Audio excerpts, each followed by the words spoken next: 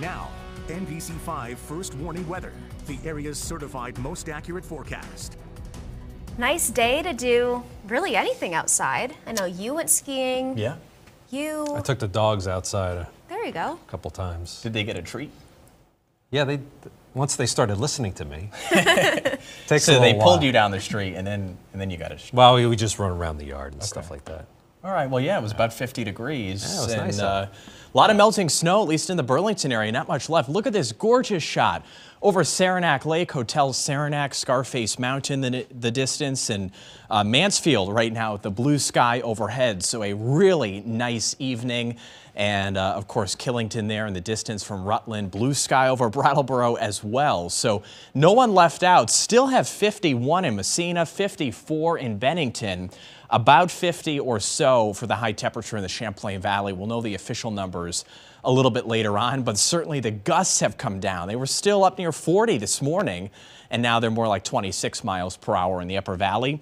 Hey, the white that doesn't move on Storm Tracker, see it there in the initial part of the loop? That is snowpack visible from space, and uh, one way we know is because it doesn't move when you loop the animation. So uh, cool shot there with all the snow that we got over the weekend. Clouds starting to come in from the Michigan area, and they will start to get here by tomorrow morning. There's still going to be some pockets of sunshine. I think it's fine feeling tomorrow morning. Maybe a sprinkle, but you see here, you, you blink and you miss the sprinkle potential. There's one right there over Brattleboro at 5 p.m. And then as we go along, we see uh, clouds continuing for Thursday morning, especially.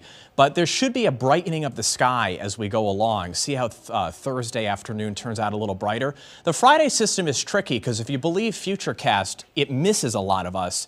But I will say there are a lot of indications that bring the rain even into the Champlain Valley Friday morning.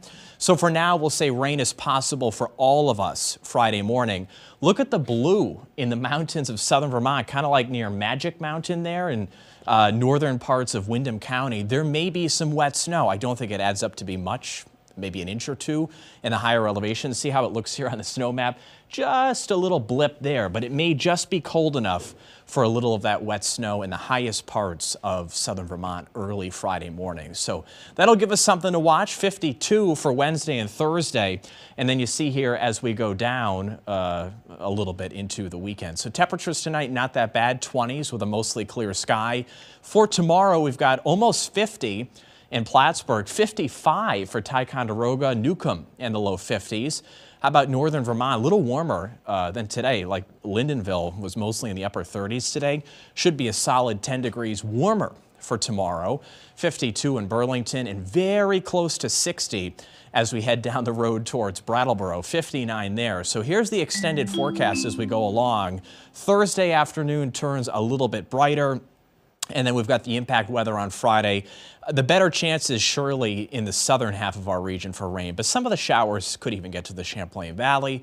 45, we have clouds on Saturday with a spot shower. Yes, a few rain showers on uh, Sunday with a high of 49, St. Patrick's Day.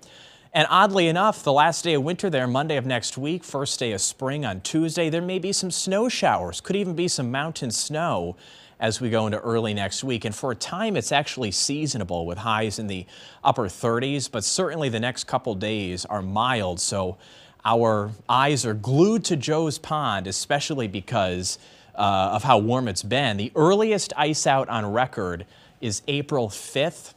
And the organization there already saying if it happens to go out before April 1st, the online ticket sale deadline, then uh, that's when ticket sales end, even if it's in March. So we'll be watching that very closely. Brian, Liz?